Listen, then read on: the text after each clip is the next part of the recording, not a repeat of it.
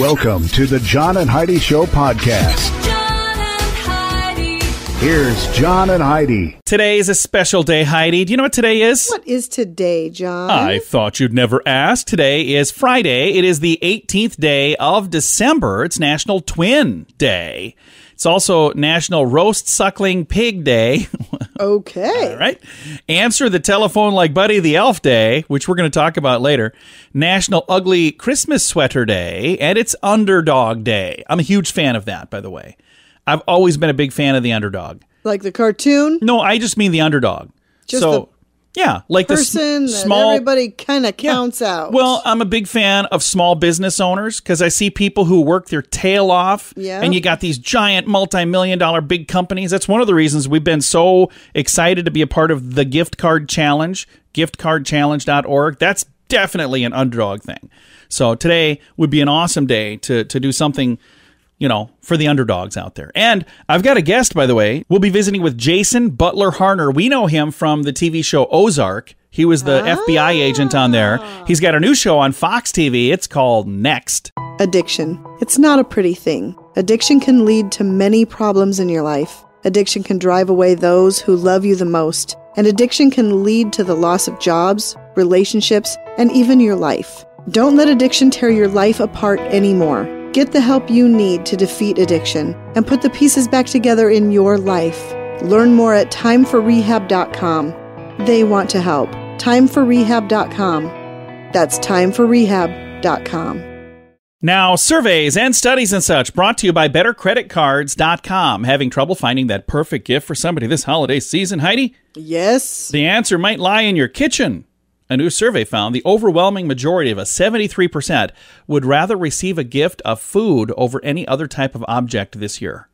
So, baking somebody cookies, making them a, a special meal of some sort, Okay. 73% said that's what I want this year.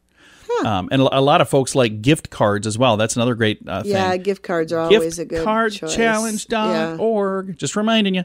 Um, there's a good chance of a gift under your Christmas tree that might be regifted. 26% of respondents say they have regifted an item once in their lifetime. 33% of women said they've done it. 19% of men said they've given a secondhand present. Have you ever regifted anything, Heidi? I have. Yeah, I know you have. You've given things to me that I'm like, hey, why does it say to mom on here?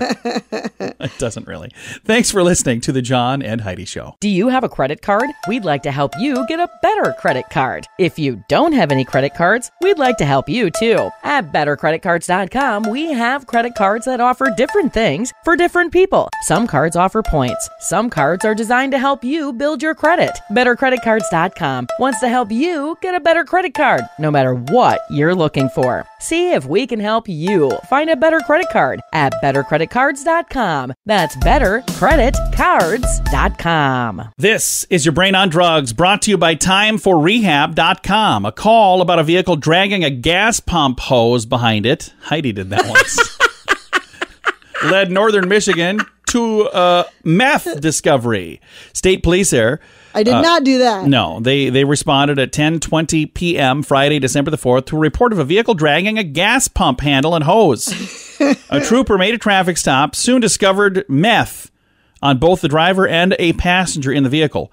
Passenger was also in possession of meth. Uh, upon making the stop, they asked the driver, 42 year old, uh, it just says where he's from, if he forgot anything at the gas station. The driver told the police, I don't think so. And they said, well, okay, well, uh, you got the gas pump dragging behind you here, the, the hose, not the whole pump, thank God. That's easy to do, by the way. oh, sure it is. They gave him a sobriety test and placed him under arrest. They found meth on the driver and the pastor, both taken to the county jail. So that is what happens when your brain is on drugs, or is just Heidi.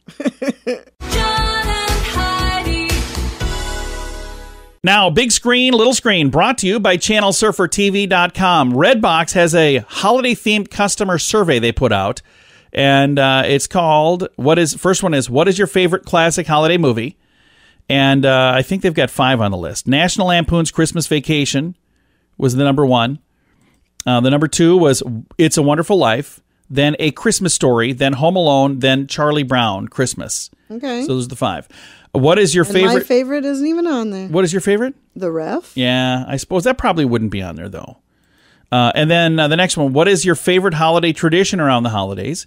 Buy presents, listen to holiday music, cook holiday meals, put up holiday decorations, and the number one answer, watch holiday movies. Yeah. But I suppose, you know, since you're doing the survey for Holiday movies, that's for- going to be. yeah. Redbox. And then what's your favorite recent holiday movie made since 2000? Oh. Bad Santa is number five. Number four, Really? Love Actually. Number three, Dr. Seuss's Grinch. Then The Polar Express. What do you think the number one since 2000 would be? I have no idea. Buddy the Elf. Oh, Yeah. Elf. Elf. Now, that's the only one on the whole list I That think I agree with. There So. Thanks for listening to Big Screen, Little Screen, brought to you by ChannelSurferTV.com.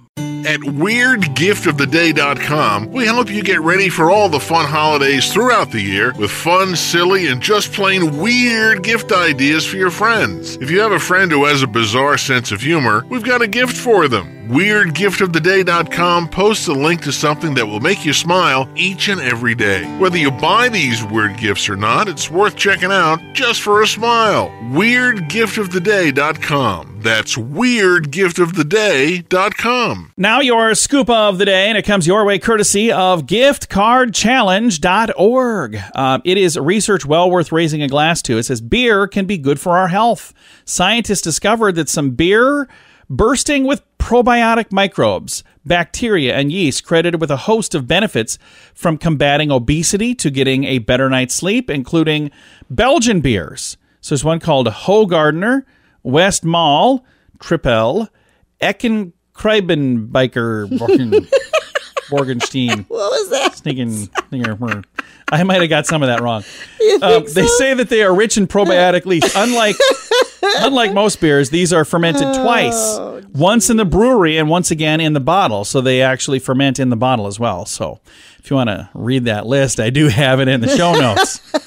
Coffee that tastes a bit off might taste a bit better if you pour into a mug of a different color.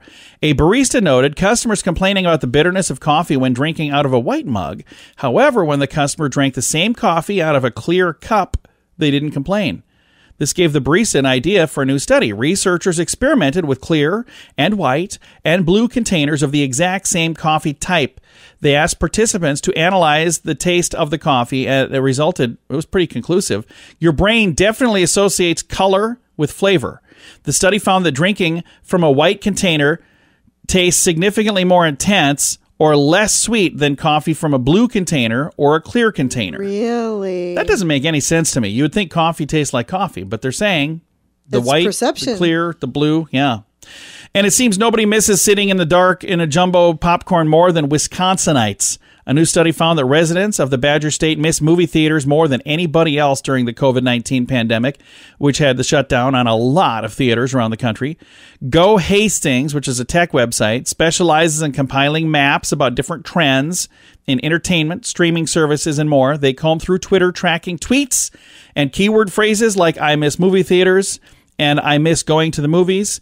More than 200,000 tweets. They geotagged each tweet using Twitter data and they mapped uh, a big map showing all of the places. The number one state that misses movies the most was number uh, number one was Wisconsin, followed by number two Utah, and number three Oregon. So there you go. Those are the folks that are missing going to the movies the most. And one last story here. If you need to buy a gift for kids and your family, or if you want to splurge on yourself, they say it is hard to go wrong with Lego. Apparently, the plastic bricks are more popular than ever. So popular, in fact, you might actually have trouble finding Legos. So the Lego store is helping customers get the models they need in time for the holidays through their website. And they notify you also if you have a specific kit that you're looking for and it's sold out, they can notify you that, hey, that one's in now. That's kind of cool. Do you like Legos? Would you want any Legos?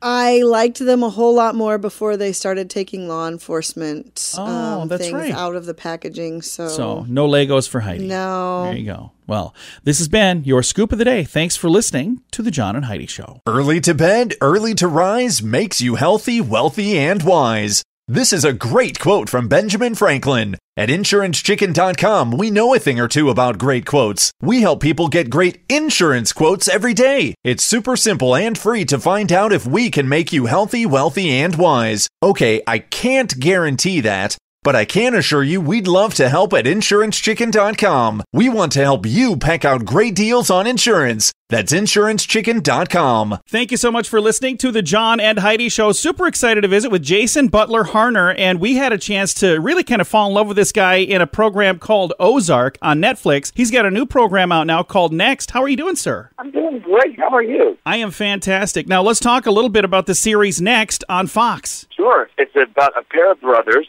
John Slattery and myself. They invent this thing called Next, which is an artificial intelligence, an AI. It's just like an assistant, a programmer to help make your life easier. It turns out that the AI gets smarter faster than they had anticipated. In so doing, the AI realizes that humans are expendable. And so then it's out and it wants to do something bad, which to humans, which we're going to discover really soon what that is. And then this team of FBI coders and us are chasing after to try to shut it down before it achieves its goals. And the scary thing is, I you know, I understand this isn't based on a true story, but every time I hear stories like this, I think, boy, what if that does happen? Yeah, in all honesty, all the technology for the show, listen, at this point we've seen some robot dogs and some other things, but all the technology and the way it all communicates with each other is accurate and happening right now. They did some rewriting while we were shooting this. We finished filming this in March of last year, and even since then, since we've all been home in our houses,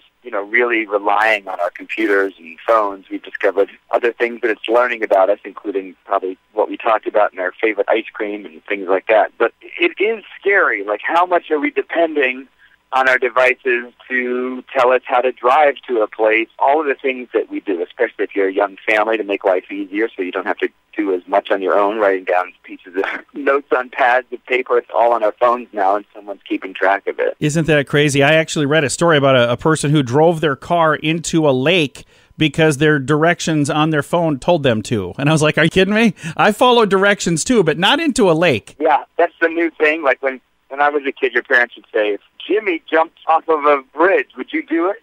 Now it's now it's if your computer told you to jump off of a bridge, would you do it?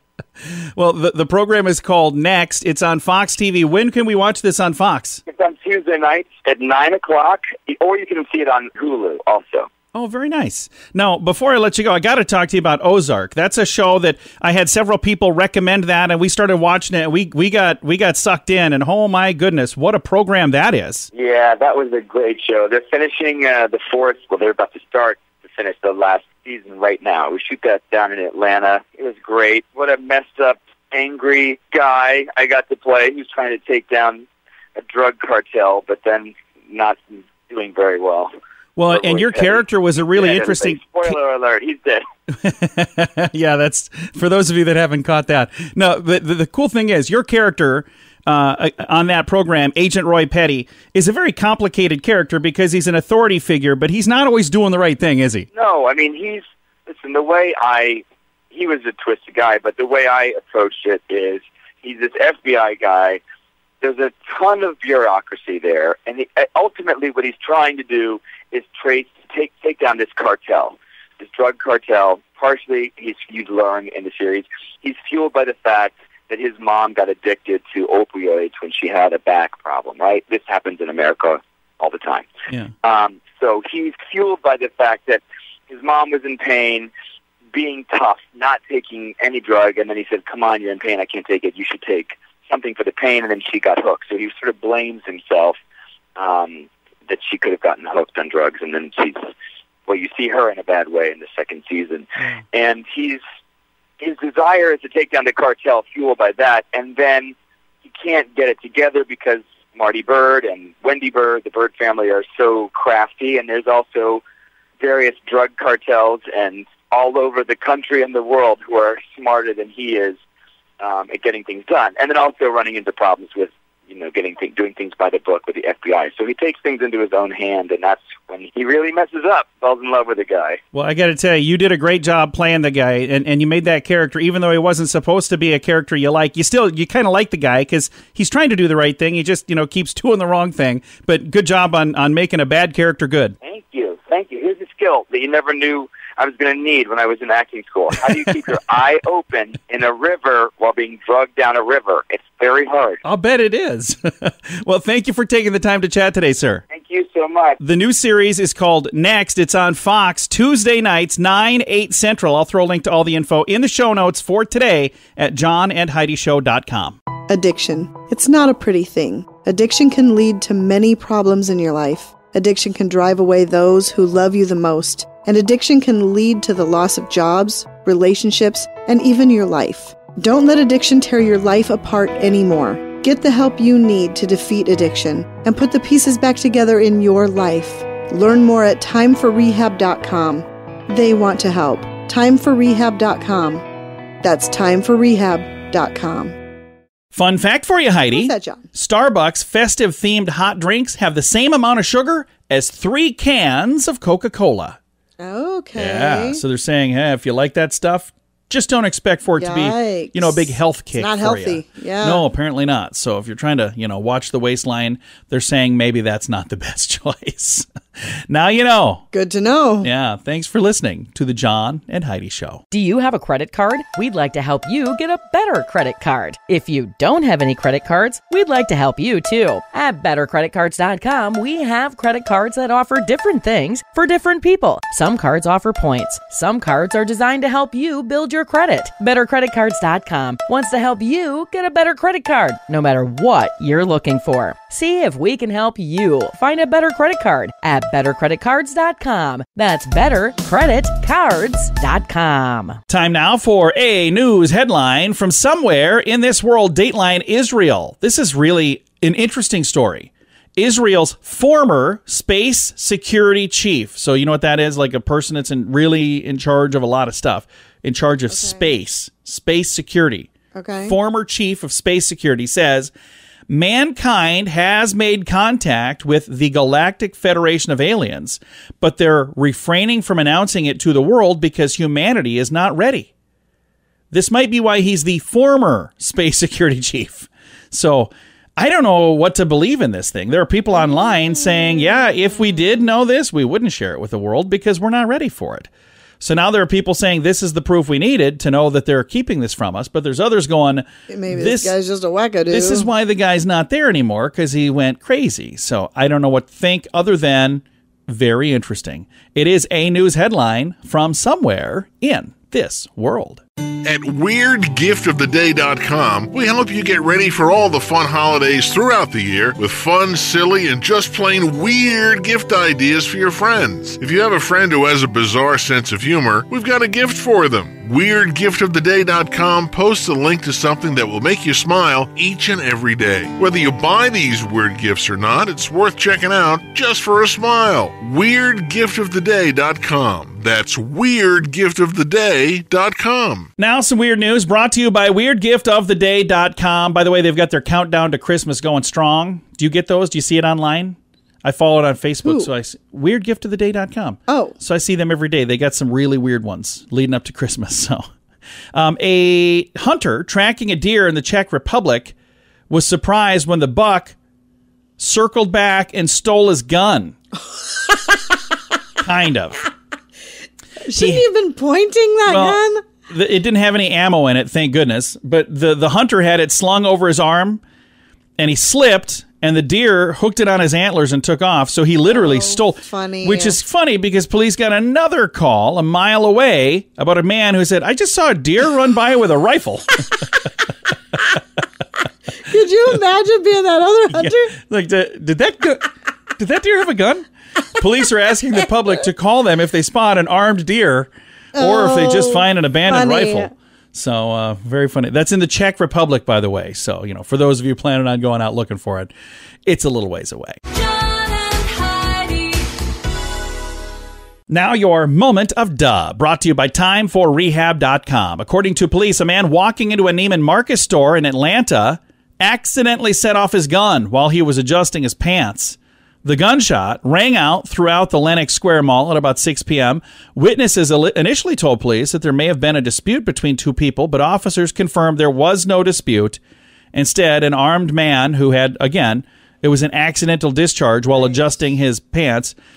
Um, it says we urge gun owners to be responsible. We would recommend you leave your firearms at home while they're out shopping in public areas. But uh, anyway, they say the, there was no No dispute. intent yeah, or- it was yeah, literally just an an accidental discharge. So the people who were freaking out saying some major thing went down, no, it was an accident. But yeah, you don't do that. So be very, very careful. And if you're a gun owner, be a responsible gun owner.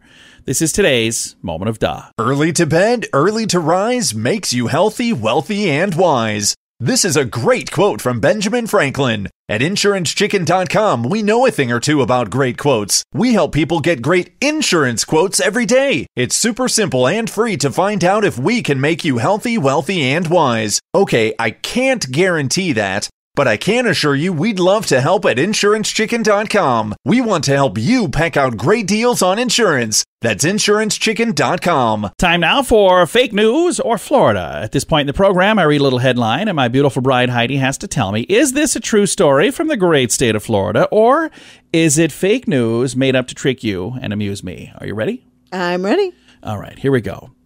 Um, fake news or Florida? I should read these ahead of time. fake news or Florida? A man was busted for abusing 911 after he called to report a dancer who refused to give him, quote, boom boom. Fake news or Florida? Florida. No, it's a No? it's a fake news story. Ah. And if I would have read it through all the way, I would not have actually read it. I didn't. I was thinking that we read this story No, that, that no, he had hired a woman and Apparently, no, didn't- I don't. I maybe there was something else. I have no clue. If that happened, it's just a mere coincidence. By the way, if you'd like to submit a fake news or Florida story, you can do that. Please be nicer than the guy that did this one. Uh, you can submit it at the bottom of the page at johnandheidishow.com. John. This portion of the John and Heidi Show is brought to you by the John and Heidi Show. That sounds kind of funny, but it's true. Go to your local radio station and ask them to start carrying the John and Heidi Show. Here's the best part they can carry the show for free. They play a couple commercials, but it doesn't cost them anything every month. So if you know a radio station that could use a little bit of help, send them our way. Send them to johnandheidishow.com. Again, johnandheidishow.com. We would love to do a radio program in your community. Then you could listen to the podcast and listen to us on the radio. John and Heidi. We always like to wrap things up around here with good news, and I think this is good news. It comes your way courtesy of giftcardchallenge.org, which, by the way, is your opportunity to spread some good news of your own and, and make other people happy. Again, all the details at giftcardchallenge.org. Here's the headline He wants me to tell you he loves you.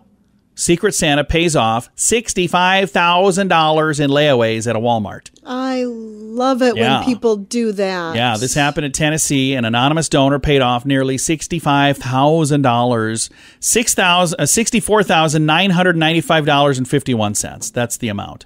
It says I got a notification on my email that my layaway had been paid for. Said one shopper, and I thought, well, that's kind of weird. He was informed by management that an anonymous donor had covered his layaway fees. Uh, she said, Yeah, somebody came in this morning at six and paid everybody's layaways. But he wants me to tell you that he loves you, God bless you, and Merry Christmas. That's really cool. I love that. Love it, love it, love it. According to the management at the Walmart, the anonymous donor wanted to be uh, uh, wanted to be a positive effect and and have a positive effect on as many people as possible. So came in and said, "What would it cost to just pay off all of the layaways? Every single person that's got a layaway." And again, it was sixty-five thousand dollars. Well, again, sixty-four thousand nine ninety-five fifty-one. But that's sixty-five thousand. Yeah. that's really really cool. if you have the ability, that's just such. I can't even imagine how good that would feel. And and I guarantee you, there are some people who, you know, they this was going to be tough for them to get something. They put it on layaway. They're making their payments. Now all of a sudden, it's it's this is like Santa Claus. yeah, that's huge. And if this person is in a position to do that, how good must they feel to know all of the families that they had a very positive impact on? And it doesn't say in here how many different families that is. I would have loved to have known because I'm sure it's probably thousands Yeah. of Well, families. yeah, you would hope it Hundreds wasn't for sure. one. Hundred, yeah, one dude had, had a lot of stuff on my list, but I'm sure it's hundreds for sure. But uh, I've got a link to the story. It's in the show notes. Time to say goodbye, Heidi. Goodbye, Heidi. Goodbye, everybody. Have a great day. Thank you for listening to the John and Heidi Show.